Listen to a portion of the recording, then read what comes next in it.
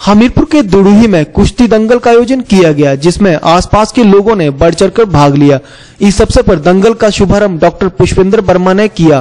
पुष्पेंद्र वर्मा का दंगल में पहुँचने पर दंगल कमेटी के सदस्यों द्वारा भव्य स्वागत किया गया। दंगल में हिमाचल के अलावा पंजाब के भी पहलवानों ने ज़ोर आजमाइश की। मुख्य अतिथि डॉक्टर पुष्पेंद्र वर्मा ने अपने संबोधन में उपस्थित लोगों से आह्वान किया कि नशे से दूर रहें और बीड़ी सिगरेट से किनारा करें। उन्होंने कहा कि 40 प्रतिशत कैंसर बीड़ी तंबाकू की वजह से हो रहा है। उन्होंने कहा कि युवाओं को चाहिए कि वह नशे से दूर रहें। उन्होंने लोगों से अपील की कि कैंसर जैसी बीमारी को जड़ से मिटाने के लिए आज प्रण लेने की ज़रूरत है। कुश्ती दंगल में विजेता पहलवानों को मुख्य अतिथि बर्मा ने इक्यानवे सौ रुपये और उप विजेता को इकहत्तर सौ रुपये देकर पुरस्कृत किया। वहीं अन्य पहलवानों को स्मृति चिन्ह देकर भी सम्मानित किया गया। पूरी कोशिश कर रही है कि बीड़ी और तंबाकू को आ, किसी भी तरह काम करके उसको पब्लिक प्लेसेस में हम ना स्मोकिंग करें तो उससे ना केवल हमारे आने वाली पीढ़ी का भला होगा, बल्कि हम लोग जो इस पीढ़ी में चल रहे हैं और हमारे से ऊपर वाली पीढ़ी में चल रहे हैं, उनका भी फ़ायदा होगा।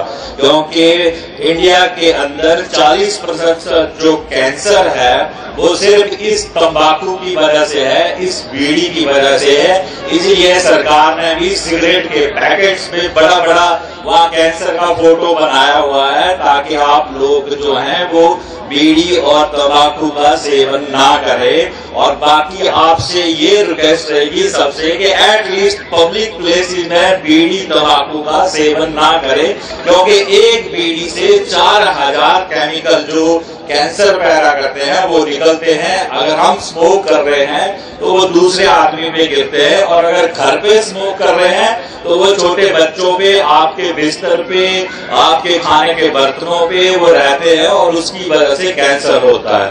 तो इंडिया का 40 प्रतिशत कैंसर हम खत्म कर सकते हैं। अगर ये हम आज के दिन, ये प्रण हिमाचल डे के दिन के हम बीड़ी और तंबाकू और सिगरेट से दूर रहेंगे धन्यवाद